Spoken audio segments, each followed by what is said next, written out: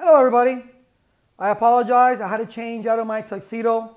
It was just too hot. These lights are killing me. All right, so I had to get comfortable for what we're going to talk about in this lecture and for the next uh, lectures in this entire course. All right, this lecture is going to consist of because I need for you to understand how to work with the packet tracer. By the way, I will provide a link on this course to download the packet tracer 533. Okay, it's not a fake website. Just don't click on the wrong link, like I did. All right. It's uh, I think once you click on the link, it takes you to a page where it says you want to download it because it has it for Ubuntu and Fedora and has it for Windows and Mac. No, not Mac. Does it have it for Mac? I think so. All right. But you click on the one for Windows and it takes you to another page. On the next page, the link is on top. Don't click the big downloading green, which I did, obviously. I went for the biggest button there and I was downloading something else. All right, it's not that one. It's on top that says, you know, Packet Tracer 53 download. It may not, at the first time, it may not download.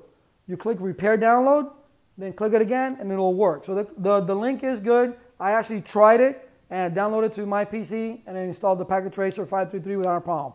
So since this course, uh, we're going to be using the Packet Tracer pretty much all the time, I'm going to show you how to work with the Packet Tracer so you don't have any issues connecting it and taking out the equipment or anything like that, okay?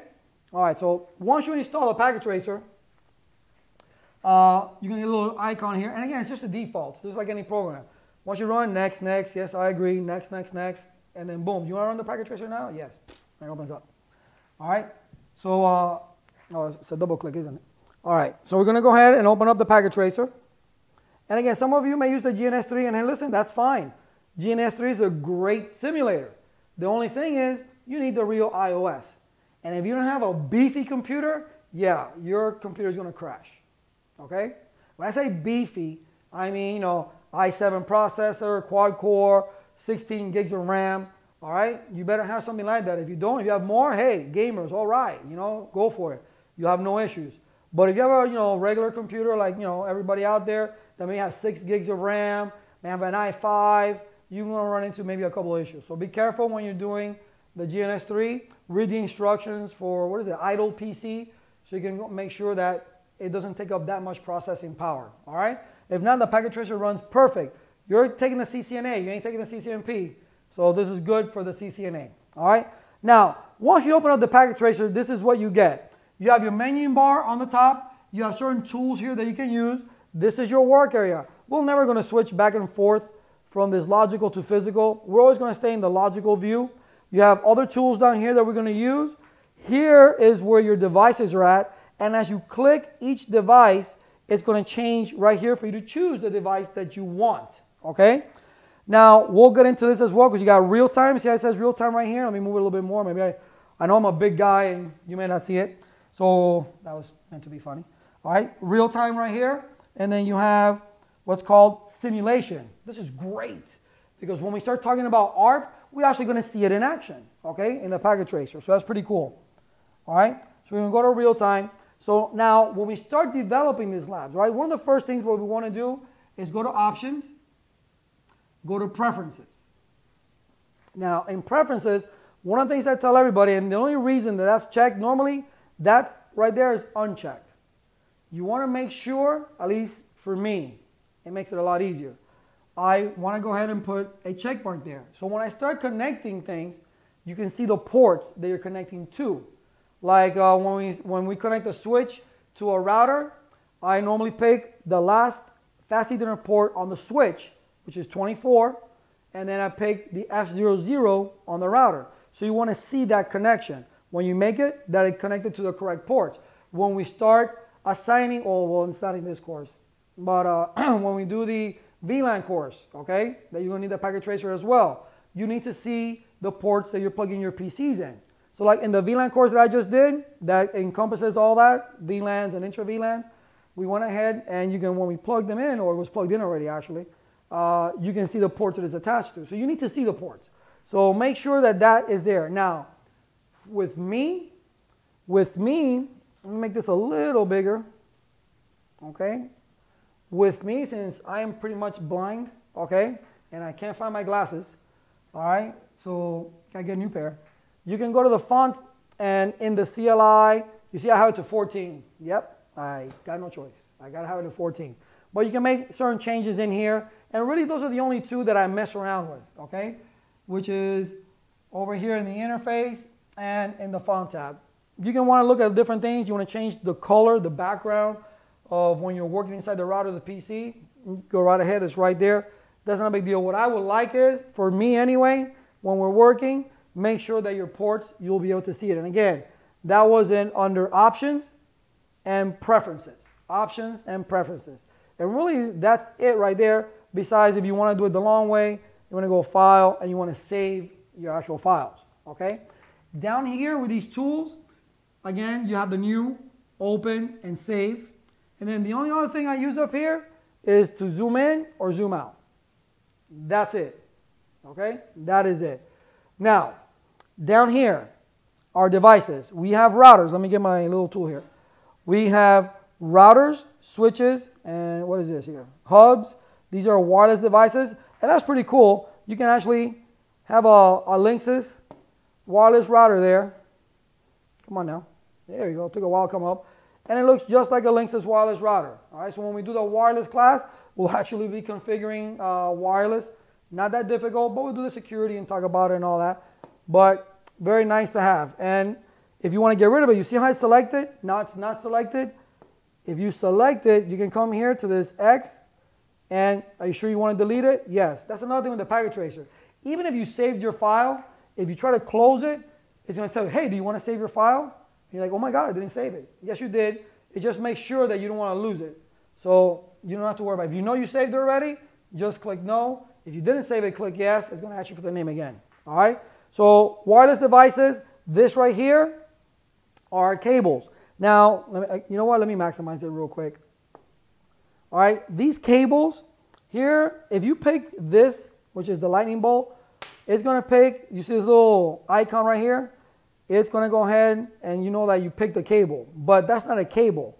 That right there will automatically choose the cable for you. Don't do it. Why? Because I want you to know what cable goes to what. So let's make an example. Let's go ahead and get a router. Let's get the 1841 router and let's put it up there. Let's get a computer down here. Are you well, let's get a switch first. Let's get a switch. Let's get the 2960 switch.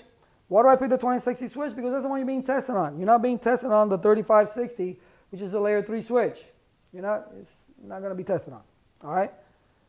All right, so we don't really need to mess with that. All right, and then let's pick an end device. And here, oops, there are your end devices. Here we'll pick a generic computer, and we'll just put it on the screen. Now, let me tell you, you got IP phones, and I have a tremendous uh, voice lab. I may, I may uh, add to this lab much later, and I'll actually put my voice lab up there and show you how to create it. It's pretty cool. It's a little call center. It works really, uh, it works very nice, and the phones flash. That is so funny. If you if you bring this up here, and you go into it, if you go to the GUI, yes, I know. All right, you got to put in this adapter right here to power it on. Here it is, right here. All right, go to the GUI. Now it's powered on. All right, if you want to make a call, really, what is it? You click here. See, I forgot now how to do this. I'm sorry. Whoop. I had to show you because this, this is pretty cool. It's pretty funny. Uh, well, I know you can take this headset out and you, the actual light flashes, which is pretty cool.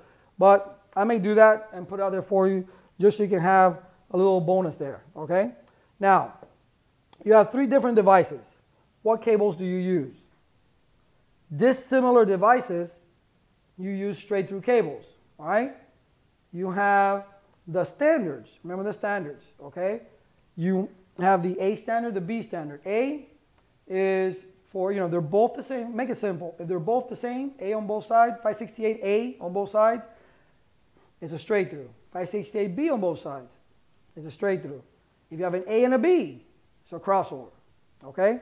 But if you were to pick the lightning bolt like I was talking about before, really, you click on the computer, right? And you can see the cable follows you, right? It follows you everywhere. And then you click on the switch, now it's connected. It chose the cable for you. And it chose the port for you as well. And it will always choose the first available port. But we don't want that. We don't want that.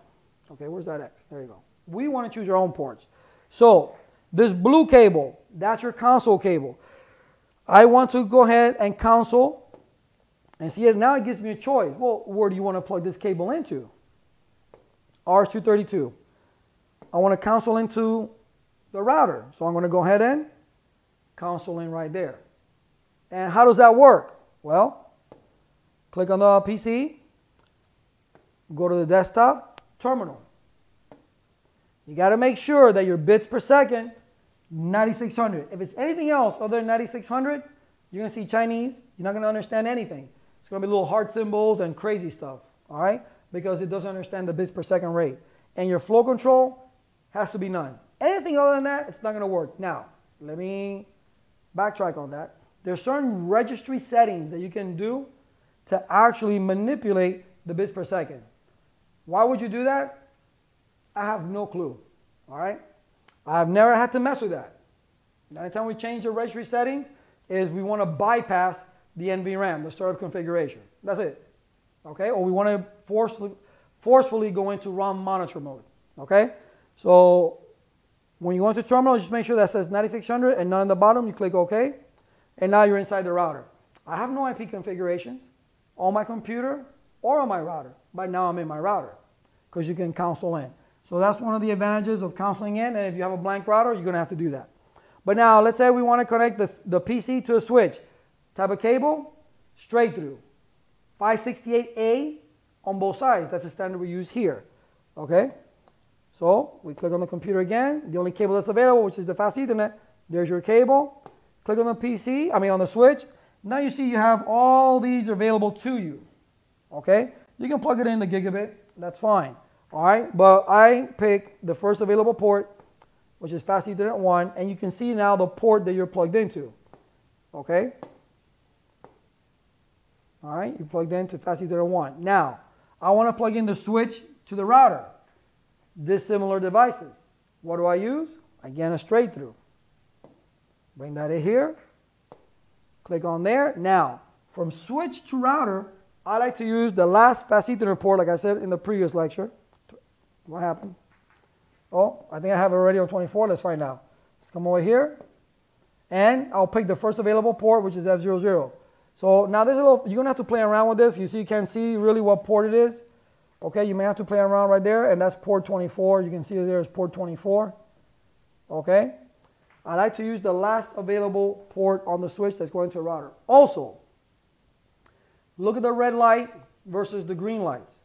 All right, this just means you have that it's on, that, this, that there is connectivity between there. Here, the router's port are administratively off by default. So that's why you can always see a red dot there. This is not going to turn on until you turn on that port on the router. All right, but let's say now that we have another switch. So let's pick a switch. Okay, let's pick another 2960 and let's put it over here. Now we got similar devices. How do we connect two switches together? We need a crossover cable. So we go to our lightning bolt to choose our cables, and we're going to go ahead and get the dash one, the dotted one. That is a crossover. Switch to switch. Let's pick port 23, and I hope I got it. And then we'll pick port uh, 23 as well. Well, let's pick port 22, just so we can make the difference. Okay? Now we have a crossover cable, which is what you should have for similar devices. And when it means similar, I'm talking about the pinouts. Okay? Now, the packet tracer is very forgiving. You could have put a straight through cable there and it still would have worked.